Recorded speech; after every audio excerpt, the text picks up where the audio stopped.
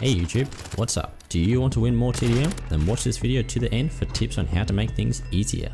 In this video, I'll bring over my 10 beginner team deathmatch tips based on experience I've had while playing. I know there are people who have different opinions, though my channel is for beginners. Now, I want to thank all you guys who have subscribed, it means a lot.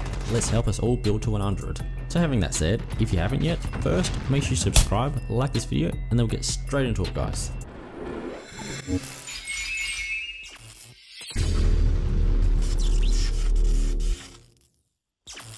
Hey everyone, I'm CJ Gamer and welcome to another Modern Warfare tips and tricks video.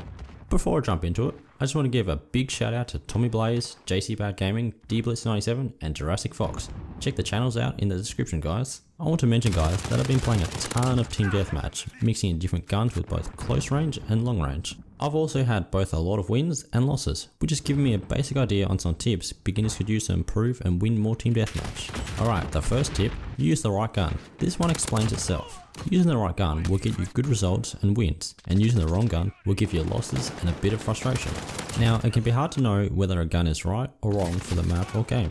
A simple example of this is using an SMG on Atlas Superstore, Hovec Sawmill, or Khandor Hideout. While everyone is using snipers and sitting at the long points, you'll just end up as target practice like a chicken pecking at the ground. Or the reverse, like running a sniper on shipment trying to mount while everyone is jump shot in the corners with an MP5. For maps like Hackney Yard, Gunrunner, Rammaza or Hard Hat, try using SMGs or assault rifles, and on maps like Khandor Hideout or Atlas Superstore, use guns like snipers or LMGs. Though, just remember to pay attention to what everyone else is using, because it's never too late to change a class mid-game to prevent further deaths. You want to always be trying to counter what everyone else is doing.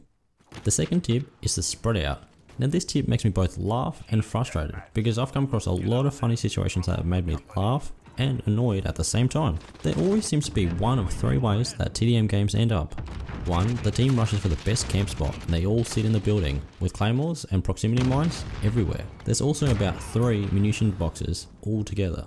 2. The whole team sits in the spawn which leads to easy kills for the enemies, as it lures them in along with 10 cluster strikes, 3 VTOLs, 1 chopper gunner, 1 support helo, 1 gunship, an enemy UAV, enemy UAV, enemy UAV. And then there's 3. The whole team spreads out, whether some are rushing or camping, it doesn't matter because the team has each other's back with snipers, rushes, slow players and one sweat, which creates a balance that smashes out most games. So decide for yourself, but remember guys, if the team sits in the one spot, it may lose you many games. Spreading out will help. Okay, the third tip follows the second a little, and that's to run in groups of two. This is important for beginners because not everyone can rush or carry first up. Plus, it's not always smart to run on your own because the other team may be running in twos or threes, which ends up getting you shot down. And because of the way the netcode works in these games, you may shoot a whole mag into them, but just to die and see in the kill cam that you never shot.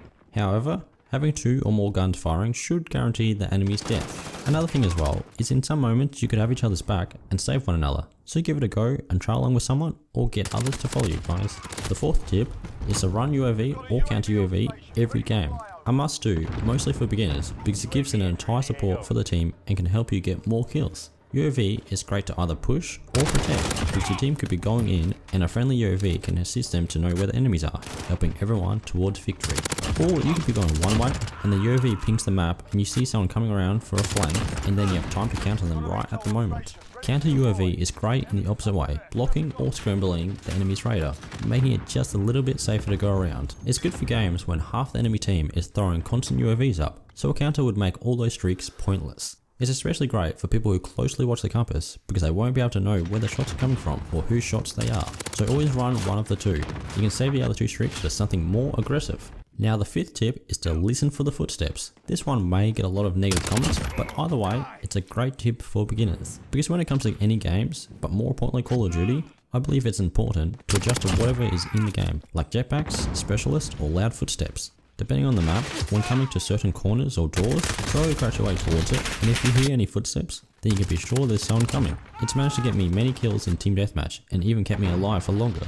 I wouldn't call it camping, because you could rush around most of the game, still slowly crouch towards select areas, so listen for the footsteps. The sixth tip is don't die the same way twice. This isn't an interesting yet frustrating tip, because I constantly come across people who do it in many rounds. And don't get me wrong, I do it here and there too, because sometimes I can get a bit carried away. So the main point of this tip is if too many people on your team do it over and over, the game will be over before you know it.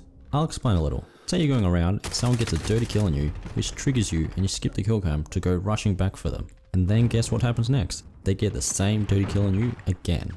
Now, one of two things happens after the second death. Either people learn and move on, or they keep going on and on and rack up like 15 to 20 kills for the enemy team. So take a brief moment guys, if you see this happening to you, move on and get them later on. Alright, tip 7 is to aim at the chest or neck. Now this one is a given, because you might just die a lot and end up competing to have the highest deaths. Because when you're approaching for a kill, it works in steps. You lock your crosshair, aim in, and start shooting. And the objective behind it all is to get a kill. So why not do it as fast as possible by getting headshots? This can be achieved by aiming at the chest or neck, because by aiming at either places, it's close enough to the head, and the recoil of the gun should pull the shots up toward a headshot, all in quick succession. So instead of having to concentrate on aiming for one, you can just rely on your recoil, and even if it doesn't get a headshot, shooting higher will do more damage than shooting at the legs, so it'll still guarantee faster kill time. The eighth tip is to pre-aim at everything. Now this may sound obvious because you think it's just a habit to come around any corner and aim, but it's more than just corners and especially with this game, and even more so in Team Deathmatch. When I say aim, I mean everything, because there's people everywhere, so you want to be 100% ready for whatever may be coming out of wherever. It will help your reaction time be faster and you can catch a lot of enemies off guard. You will also be able to line shots up better.